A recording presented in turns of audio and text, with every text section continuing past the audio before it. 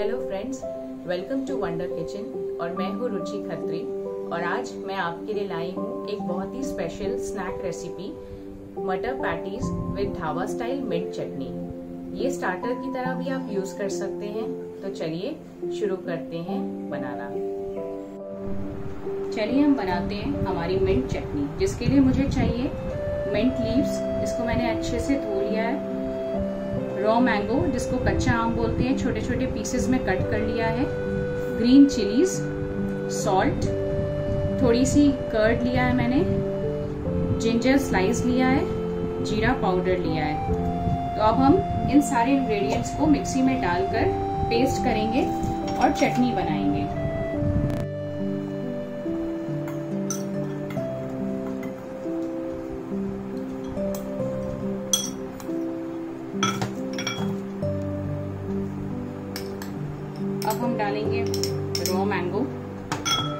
Chillies आप अपने test के हिसाब से डाल सकते हैं। मैंने फोर पीसेस डाले हैं। सॉल्ट भी अपने टेस्ट के अकॉर्डिंग डालेंगे।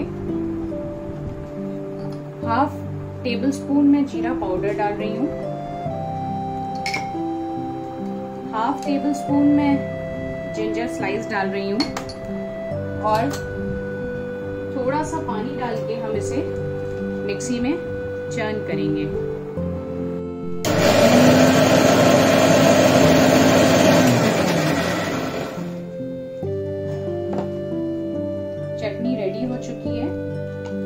जार से निकाल के इसे एक ग्लास बाउल में डालेंगे। और आप लोग कोशिश करिए कि जब भी चटनी रेडी हो, उसे एक ग्लास बाउल में ही डालें, क्योंकि कोई भी खट्टी चीज़ स्टील या एल्यूमिनियम या कॉपर में नहीं डालनी चाहिए। और अब मैं इसमें ऐड करूँगी थोड़ी सी कर्ड जो कि टेस्ट बिल्कुल ढाबा स्टाइल चटनी का देगा। इसमें मैं दो टेबलस्पून कर्ड ऐड करूँगी। और अब मैं, मेरा सीक्रेट इंग्रेडिएंट जो चटनी का है, वो ऐड करूँगी, जो कि है ब्लैक पेपर पाउडर बहुत से लोगों को ये नहीं पता है कि ब्लैक पेपर पाउडर हेल्प करता है। एक तो चटनी का टेस्ट बहुत अच्छा होता है। दूसरा, ये इजी होता है हमारे खाने को डाइजेस्ट करने के लिए। इसमें मैं half tea spoon black pepper add करूँगी और हमारी ये मिंट चटनी रेडी है। मिंट चटनी रेडी है। तो अब हम चलेंगे मटर पैटीज की प्रिपरेशन करने के लिए। मटर पैटीज बनाने के लिए हमें चाहिए six to eight pieces boiled potato एक गोल ग्रीन पीस अभी सीज़न नहीं है पीस का, इसलिए मैंने फ्रोजन वाला लिया है। कॉर्नफ्लावर ये फ्रेश नारियल ग्रेट करके मैंने लिया है। Refined oil sugar lemon juice जीरा, काजू को मैंने छोटे छोटे पीसेस में कट किया है और किशमिश लिया है। पहले हम इस पोटैटो में बाइंडिंग के लिए three to four table spoon cornflour डालेंगे और टेस्ट के अकॉर्डिंग नमक डालेंगे।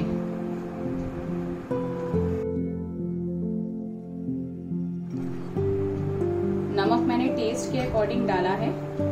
अब हम इस मैशर से ये पोटैटो को अच्छे से मैश करेंगे और इसका एक फाइन डो आटे जैसा रेडी करेंगे। उसके बाद हम मटर पैटीज की फिलिंग जो कोकोनट और मटर से हम बनाएँगे। ये हमारा डो रेडी हो गया है। चलिए अब इसकी फिलिंग की हम तैयारी करते हैं। अब हम मटर पैटीज की फिलिंग रेडी करेंगे। मैंने कढ़ाई गरम कर ली है। इसमें एक टेबल स्पून मैंने ऑयल डाला है। ऑयल थोड़ा सा गरम हो जाएगा। इसमें हम जीरा डालेंगे और मिक्स करेंगे। एक बोल जो हमने मटर निकाल के रखे थे फ्रीजर से, वो डालेंगे और मिक्स करूँगी। एक मिनट के लिए आपको ऐसे ही चलाना है। अच्छे से जब मटर मिक्स हो जाए तब हम इसमें सॉल्ट डालेंगे।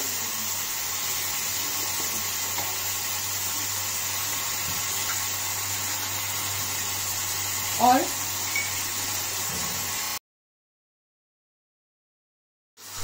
और दो टीस्पून चीनी डाल के इसे मिक्स करेंगे। थोड़ा सा पानी डाल के इसे दो तीन मिनट के लिए ढक के छोड़ देंगे। मटर अच्छे से पक गए हैं। अब ये जो ग्रेटेड हमने कोकोनट रखा था, वो हम इसमें धीरे धीरे ऐड करेंगे। और थोड़ा सा किशमिश। और चॉप्ड कैश्यू जो हमने करके रखे थे, वो डालेंगे। और दो टेबलस्पून लेमन जूस डाल के मिक्स करेंगे। सब कुछ जब अच्छे से मिक्स हो जाएगा, इसे थोड़ा सा ठंडा करने के लिए छोड़ देंगे। फिलिंग भी ठंडी हो चुकी है तो अब हम चलिए थोड़ा सा हाथ में रिफाइंड ऑयल लेते हैं और छोटी सी एक बॉल लेंगे, जो हमने डो आलू का रेडी करके रखा है। और उसको धीरे धीरे हाथ से इस तरह से शेप देके ये जो हमने फिलिंग रेडी की हुई है, ये इसके अंदर डालेंगे।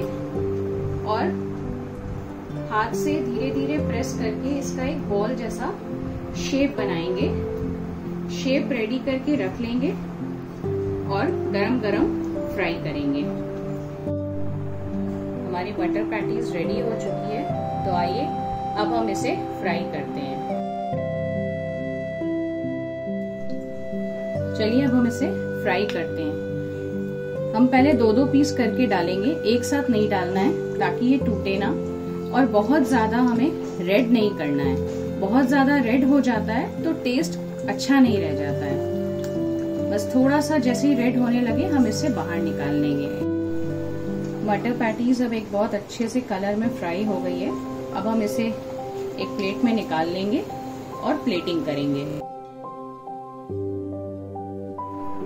क्रिस्पी मटर patties with mint chutney ready हो गई है और मैंने इसकी प्लेटिंग के लिए coriander leaves green chilli lemon और अनियन लिया है। आप अपनी चॉइस के हिसाब से इसे प्लेटिंग के लिए रेडी कर सकते हैं।